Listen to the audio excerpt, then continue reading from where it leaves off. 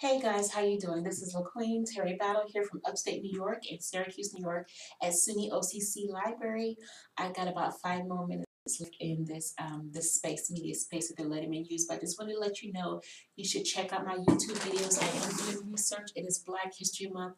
I am starting a lot of research. I'm involved. I'm doing some child development classes as well as some drug addiction classes here at SUNY OCC. So I'm, I'm gladly to be a part, involved with Black History Month and also to, to do this, to do that, just pretty much dig in where I can. So um, I did have a little bit of eye irritation today for some bad toner makeup. So just guys, keep me your thoughts and prayers. I'm trying to get my life together, housing, a job, school education, and do what I can do just to keep moving and moving and moving. But just to make it brief and clear for you, I am doing some research on the word, the word, the word, the abbreviation, the definition, the suffix, the prefix, the word, nigger, okay? As you know, this is a really um, negative, negative, negative word that has been used against us as a people for centuries and centuries and centuries and centuries of years. And there's all different kind of abbreviations um, that you can take from this word right here, okay? This word. There's so there's so there's so much so much research just on this word by itself, this word right here. And just just the the the suffix, the origin of the word, you can take it to other words. Just the origin of this word, you can take it, and then G G R E means pertaining to. The the the the origin of the word is N I G and it means a Latin king. So y'all should, it means a um a old past a royal Egyptian king, um a royal king from Africa whose name was King Negus. So I'm doing research just on this on the prefix of the origin right here, just on this prefix, just on the origin of the word right here. Just on this subject right here, just the just the prefix of the word. Right here, just on this right here. I know maybe erased from my mind a little bit, but just right here of the origin of the word, the word, the base word, the base of the word. And then you can divide it up into NIG, you can divide it up into NIG, I mean it goes on and on and my hi Mitch, how you doing? So pretty much I've started a little bit on the research here, trying to get to the origin of the word and the prefix and suffix, suffix and the base, and then right here in it goes in pretty much pretty much means pertaining to. So I got about five more minutes left in this library today before they shut down. So pretty much guys, I am on Twitter, I am on Facebook, I am on YouTube as well as LinkedIn and and Pod and SoundCloud.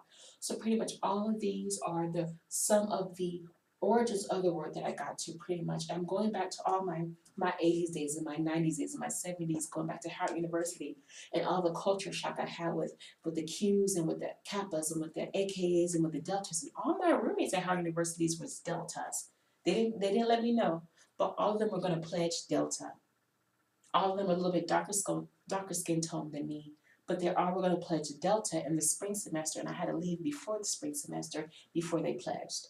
So that's how that worked out. I was in Howard University in fall of 2004 and fall of 2003 when I graduated from Eastern Hills and got a scholarship, like a little bitty scholarship to go to Howard University, and I got approval from the city of Fort Worth. I got all these recommendations just to become a student at Howard University. So hip hip hooray!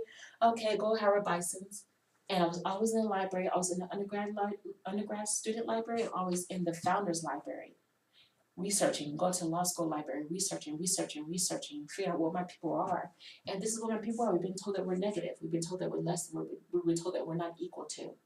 And just a word that was used to be to be meant for royalty, to be, to be meant for kings, has been used against us, pertaining to our behavior. Our behavior, we're to call you to de- denate, to denigrate your name, and take away your power, take away your authority from being a royal, from being having royal blood, and kings and queens and jewels and diamonds and silver and gold. We're going to take it away from you, take it away from your history, take away from your origin, and then we're going to not only denigrate you and your family and your kids, but every single word, every single word in the, the English vocabulary from the 1800s up until now, anybody that can even speak of you or your people knows that you are less than you will never be equal to a white man or white woman.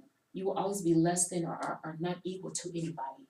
So not only will you we will enslave you in the 1800s, but we will also enslave you by the words of, of humankind for the rest of eternity. And that's how it works. People don't know that people they not only enslave them by physical physical needs, by chains, but they also enslave you by your mind and also enslave you by your language too. So you have to watch sometimes how people talk. They not only enslave you by the by physical means, chains and cuffs and whips and ropes, they enslave you by language. Throughout time. I got three of these bulletin board, I'm trying to try to make it quick, cause they're about to shut down, I can go, go on, there's a, by these words, negate, negation, negative, neglect, negligence, negligent, negligible, and it goes right here, all, all the, um, all the, the origins of the word from nigger right here, N-I-G. And it's all English and Latin, but it came from the king Negus in, in Ethiopia. So you can make as many abbreviations as the suffix right here, you can turn the suffix, just the origin of the word into anything you want, people don't even know that you're related to the black people, the black race. So you can turn this word N-I-G to N-G-U, and N-G-U and N-G-A is an, is a masculine and the feminine abbreviation of royalty, of African royalty. And then from this origin, this word origin, this word base, you could turn just these word base, NGU and NGA, you could turn it to meaning an English word to mean nag, to constantly, constantly praise somebody, and that's a negative word. To be neg, you could turn that into neg, N-E-G, which means less than or not equal to. Then nig, to nig somebody. These are all the base word bases of plenty of thousands and thousands of English words that are probably not even in the dictionary. But the word bases of all these words right here come from the word base of this of this word. The of the black race, of the black people. Just this word base alone by itself. Just this word base, this origin word base just by itself. I got about five minutes left, they're about to close down, just the word base of this word right here, you can change it to anything you want. To any word in the English vocabulary, you can nag it, you can make something less than, you can nog it, and nugget. And make these words right here. And put suffixes on the end of these words and change them to any word in the English vocabulary. Just just the suffixes of these words. These are the sub, the origin, of the word bases, and then you can turn these word bases to anything in the English vocabulary, in the dictionary. And then any, any of these word bases you can relate to the English people, to the black, to the black people, and the black race. And in, in order to break that curse, yeah, I got about two minutes, thank you. In order to break that curse, you have to go over here and you have to find the opposite of that and to claim authority over that curse. That's what I was trying to say in my Twitter today. You have to take away that curse and and dignify it, give it give it honor, give it meaning. To take away the neg the neg the nignifying of it, and you have to turn it into dignifying it, not nignifying it, but di- dignifying it. Anything like starting with D, means to give grace to. I give you grace. I don't curse you. I give you grace to continue onto your path. So you can dignify something that means you give somebody grace, you honor them, you humble them. To give, give dignity to somebody, you give grace more to them in the process. And to give dignation to somebody, that means you give honor, you give loyalty where loyalty is due. You honor them in their position of staff. So negate, to negate something, the opposite of negate, negate is to dignify, dignigate, to dignify. The opposite of negate is to dignify something. See how those opposites are?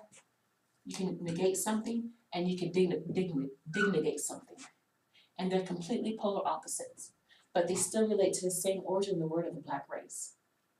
So the library is about to close. I'm gonna have to get more with you guys tomorrow as well. I have been doing a lot of research. I just want you guys to take a look at what I have right here. This is the first board that I have right here on the research behind the word nigger, the origin, the origin of the word, which meant to King Negus, and and the kingdom of Ethiopia. He was the last king of kings, and this is the second bulletin board I have right here. This is the second. Can you guys see it a little bit higher? There we go. So here's the second board I've done on the origin of the word nigger.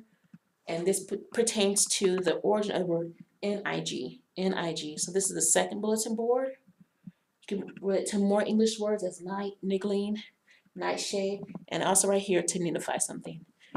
And then also the third, the third, the third bulletin board I have is, the library is about to close. The third bulletin board I have is right here. And to nag something means to nig it, to nag it. That's another base of the word nigger. And I have other other words. To naga something means to is Swedish and Norwegian. So to naga something, when you call somebody a naga, that means they're gnawing at you, they're biting on you, or they're hurting somebody. When you call somebody a naga, it's old. It's old, like old Louisiana, old New Orleans talk, old Southern talk. When you call somebody a naga. Thank you. Okay, thank you. And then right here, it's Nagana, Nagger, all these all these base words of it.